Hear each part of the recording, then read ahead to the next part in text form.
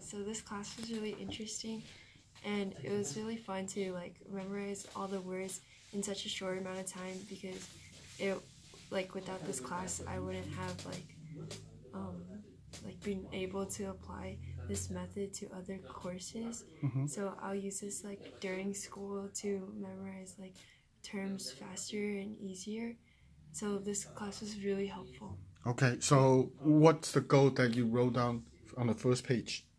Um, I wrote down that um, hopefully I'll try to memorize um, by like 10 times faster.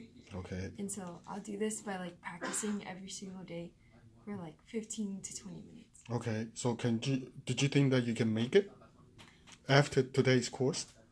Yeah, It's very easy, right? yeah, it's a simple method and you just need to like learn from the right person. Okay, thank you. Thank you.